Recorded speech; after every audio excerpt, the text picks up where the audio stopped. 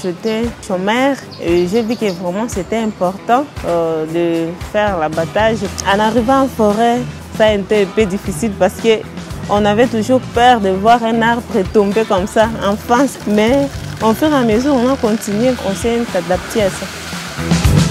En intégrant la formation et les stages sur l'abattage, on nous a adopté des outillages comme le matériel. On nous a montré comment on peut couper un arbre. On nous a montré des risques pour qu'un arbre ne puisse pas tomber donc, dans, dans une sens inverse.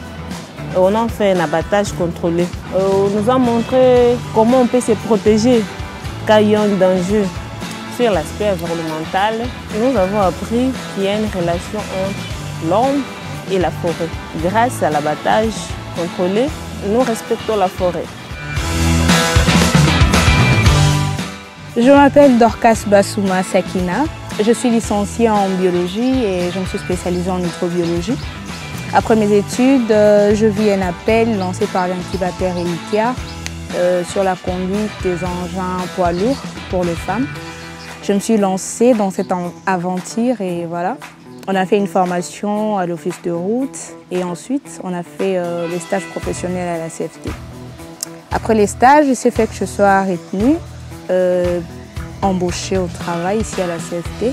On m'a transférée ici sur place au site et c'est là où je travaille. Euh, toujours avec euh, la chargeuse. On acquiert beaucoup plus d'expérience.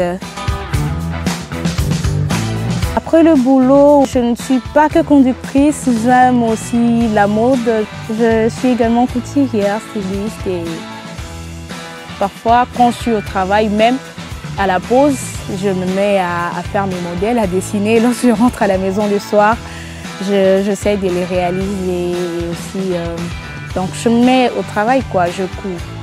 Et toutefois le week-end, je me donne un peu du repos euh, avec les amis, on prend un peu, un peu de verre, un peu de sucré.